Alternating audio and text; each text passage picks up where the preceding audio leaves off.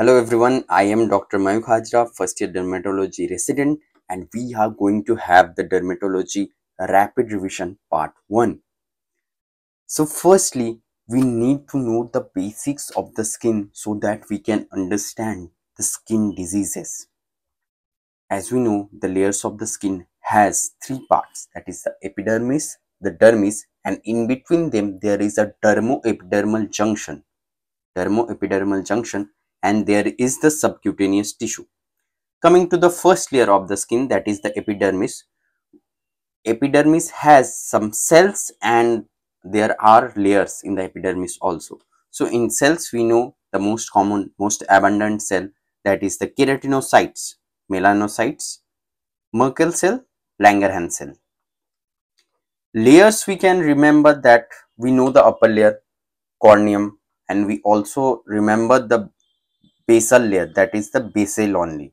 So these two are simple to remember. Now to remember the other layers, here is a mnemonic that is the legs L E G S E you omit it. So lucidum, granulosum, spinosum and lucidum is only present in hand and feet, the glabrous skin of the hand and feet. So it is not present in other layers of the skin. Coming to the cells, keratinocytes is the most abundant as I said. It constitutes about 90% hallmark is the keratin filaments. There are many kinds of keratin filaments. Only 5 and 14 defect. It leads to epidermolysis bullosa simplex. Melanocytes, it is found in the stratum basal specifically and it is derived from the neural crest cells. Merkel cell sensory organ, stratum basal only it is present. Now Langerhans cell, it was asked in the AIIMS 2019 exam that it is present in the stratum spinosum and it is derived from uh, mesoderm and Langerhans cell histiocytosis you get the question. So the hallmark is uh, Birbeck granules and if you see in the electron microscope you get uh, this tennis racket shaped bodies and the markers you should remember because this is a PYQ so it is a futuristic question. Now if we see into the layers of the skin uh, the stratum corneum that is the desquamating cells if the desquamation is uh, defective somehow it leads to ichthyosis. Now comes the granular layer. Why it is granular? Because it contains granules. So in the granules there are two types of granules the filaggrin and the Odland granules. Both are having moisture retaining capacity so filaggrin defect leads to, if it is defective, it leads to ichthyosis vulgaris. After that is the stratum spinosum. Why the name spinosum? Because it has spine-like projections. So the desmosomes are the spine-like projections and it helps to maintain a hexagonal shape and the spine spinous layer contains as i said that the spines are the desmosome. So it contains desmosome and it was also asked. Now the epidermal turnover time means a basal cell it matures into uh, in the stratum corneum a dry keratinocyte and it sheds off. The whole process takes about 56 days. And the epidermal turnover time is reduced in case of psoriasis about 4 days. So there is extreme desquamation of the skin histologically some significant pathologies if we see there is parakeratosis that is nucleus in the stratum corneum because stratum corneum as you can see no nucleus see? No nucleus is there. So if there is nucleus in the stratum corneum uh, then it is called parakeratosis. Dyskeratosis means abnormal keratinization means more keratin or less keratin microabscess. Abscess is formed by the accumulation of the inflammatory cells. So it could be um, it could be differentiated according to the inflammatory cell. Coming to first is the neutrophilic abscess that is the papillary tip microabscess. Papilla means I am showing you here. These are the dermal dermal papilla if in the papillary tip there is a microabscess neutrophilic accumulation you can see in the microscope then it could be due to dermatitis herpetiformis or it could be due to psoriasis. You should know the names Monro microabscess and Kogoj pustules. If it is a lymphocytic microabscess, it is called the Pautrier's microabscess and it is seen in the mycosis fungoides. Eosinophilic microabscess, it is seen in Pemphigus vegetans. Not too much important, but uh, you can still remember them. Now, a important concept that is the acantholysis. Acantholysis means breaking of the desmosomes, the breaking of the spines of the of the uh, keratinocytes in the stratum spinosum. so, अगर किसी का spine ही तोड़ दोगे तो उसका shape क्या maintain रहेगा तो यहाँ पे हेक्सागोनल शेप्स रहता है पेंडागोनल शेप्स रहता है। तो तुम लोगों का क्या शेप मेंटेन रहेगा? अगर तुम स्पाइन तोड़ देते ऑब्वियसली नहीं रहेगा। तो कौन सा शेप में जाएगा? जिसमें है lowest surface tension like you pour a drop of water the drop of water और a drop of mercury it assumes a spherical shape because it has the lowest surface tension from the concept of physics तो यहाँ पे भी lowest surface tension so acanthocytes are always round cells hyperchromatic nuclei. And in Tzanck smear means if you burst a bulla or burst a, any uh, bulla and smear it and see it under the microscope, then you can see either acanthocytes that is present in the pemphigus group, the Darier's disease, the Hailey-Hailey disease. We are going to discuss in the next class about these diseases. Or else you can see the multinucleated giant cells that are present in herpes. Now the dermo-epidermal junction, it is an important concept because epidermis and dermis completely two different layers are held together by uh, adhesion, by uh, super glue. So inside the structure if we see uh, till now no question has been asked. But if you know this a future AIIMS question could also be asked. And here you can summarize the subepidermal splitting disorders also.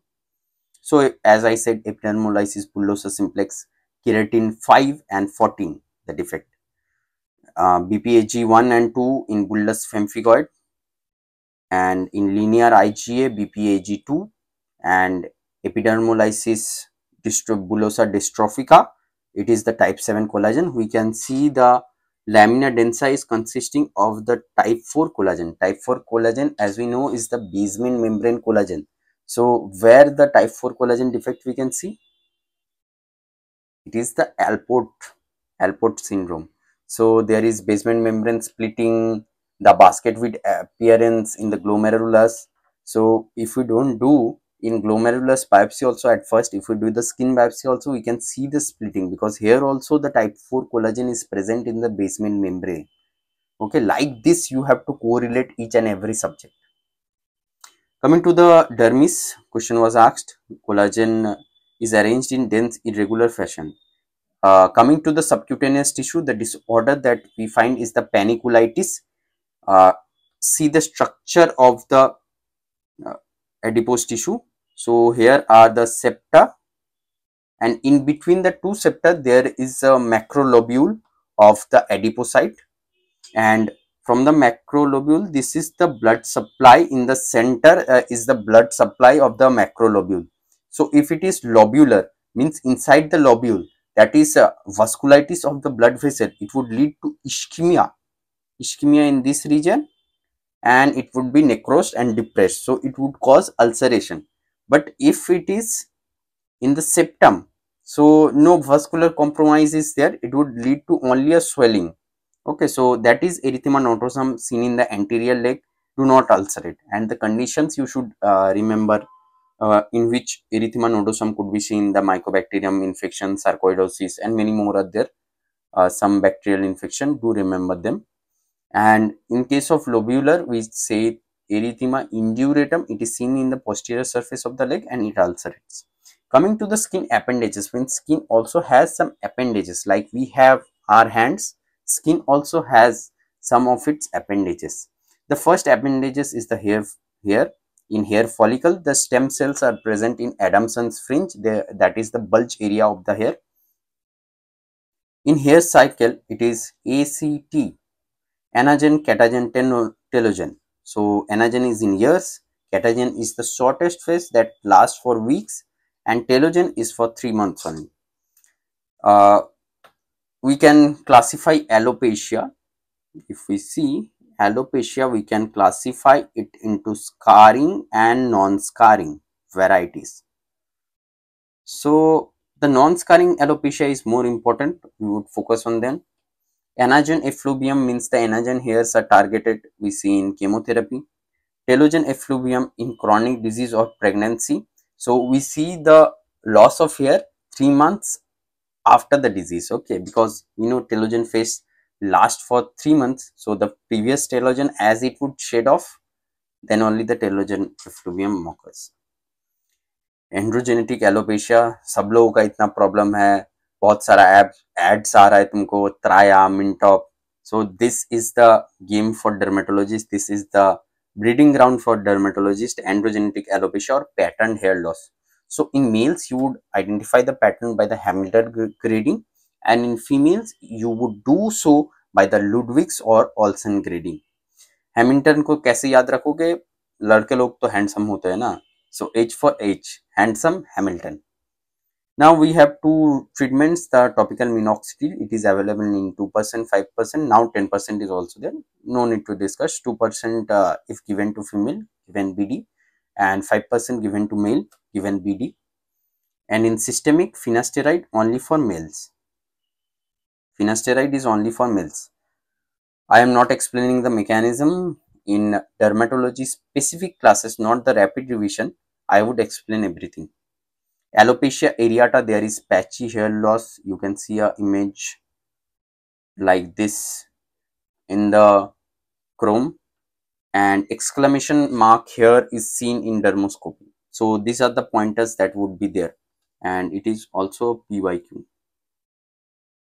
Trichotillomania, it is also a PYQ. It is been asked in the knee because it is pulling of the hair so there would be pinpoint hemorrhages if you would see and in systemic diseases SLE and many other disorders are there that causes non-scarring alopecia scarring alopecia in infection favors carry on one of the autoimmune uh, disorder that is the discoid lupus erythematosus and the INICET favorite the frontal fibrosing alopecia.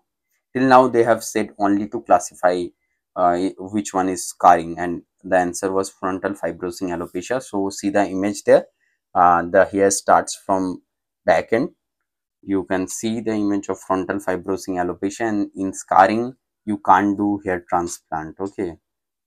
Because scarring is going on now if you transplant a new hair that would also undergo scarring and the follicle would be destroyed now the second appendage that is the nail and we see the changes. If it is superficial regular pitting, then it is alopecia areata.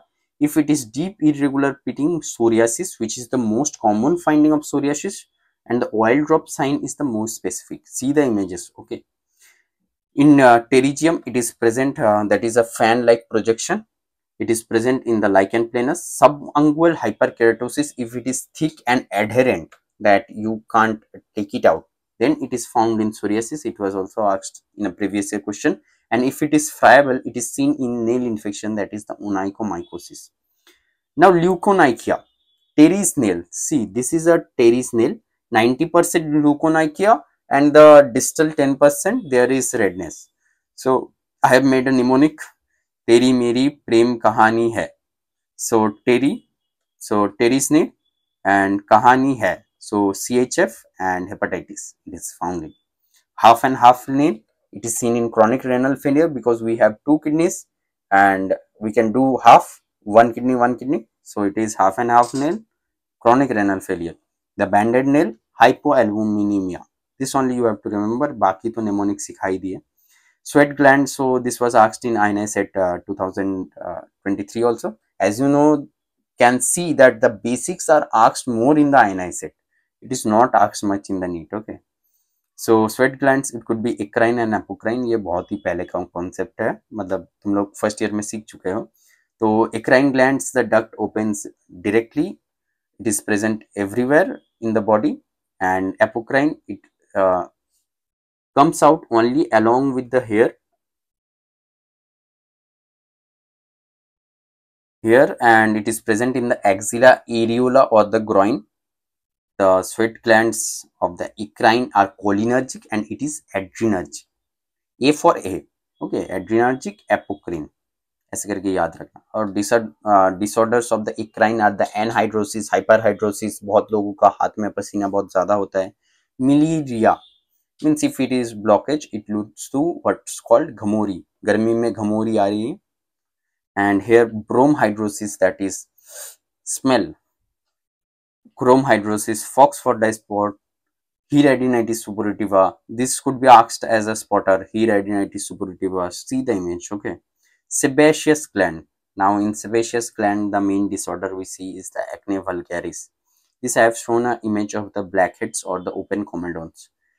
Uh, simple, short and simple grade and the treatment you get. Grade 1 consists of only comedones. It could be open or it could be closed. If it is closed then it is whited. If it is open then the keratin is oxidized and it forms black in color. So topical retinoids is the treatment. No antibiotic is required because the propionibacterium acne is not proliferating here. It is only a blockage of keratin grade 2 there is some infection because pustules are forming. Uh, grade 2 papules are more than pustules and grade 3 pustules are more than 20 so in this case we give the oral antibiotics the benzoyl peroxide the topical retinoids the topical antibiotics. Any combination we can give. Oral antibiotic is a must i would say. And in type 4 this has been asked many times so the drug of choice is isotretinoin most common side effect teratogenic facial defects. This has been asked in the AIIMS 2019 also. AIIMS 2016 and 19 and this has been asked in NEET 22 so the drug of choice is isotretinoin. That is a retinol derivative and it causes most common side effect is dryness and most severe you can say a rare side effect is the DISH and you need to monitor the liver enzymes in this case because it has a tendency to rise them. so, ये हम लोगों का आखिरी मतलब आखिरी regiment का दवाई है जो हम लोग एकदम लास्ट में देते हैं ग्रेड थ्री में और ग्रेड फोर हुआ तो हम लोग दे देते हैं बिकॉज़ इतना सारा नोडुलसिस्टिक लिशंस अगर रहेगा तो फिर उसमें से तुम्हारा स्कारिंग होने का बहुत चांसेस है। तो स्कारिंग को प्रिवेंट करने के लिए हम लोग देते हैं। But it is teratogenic so category X so it should not be prescribe to pregnant patients और those who are planning for pregnancy and if you are planning for pregnancy stop the drug one month before planning for pregnancy and the teratogenic effect it causes is the facial defects now not responding if it is not uh, if they are not responding to treatment acne is not responding to treatment this year NEET question NEET 2000 24 question 23 sorry NEET 2023 question not responding to treatment c causes of hyperandrogenism because there are three three causes of acne that is blockage another is the bacterial proliferation another is the sebum production increased so the sebum production is increased by the androgens okay so you should look into the causes of hyperandrogenism also if it is not responding to conventional treatment or if you see signs of hirsutism in case of female. Now the last topic that is the rosacea, the site is convexity of the face associated with flushing. See the flushing, see the flushing, see the telangiectasia, erythema and telangiectasia. This you could see. Pustules also you can see. And grade 4, what it causes? Potato nose a previous asked question in ENT. So I think this completes today and uh, do give me feedback in the comment section that how I should proceed for the further dermatology rapid revision videos means I should explain this much or I should reduce the explanation and go a bit fast so that it covers in less amount of time. And do hit the like button M करते हैं कि हम लोगों को 200 likes मिल जाए, फिर next part आ जाएगा okay all the best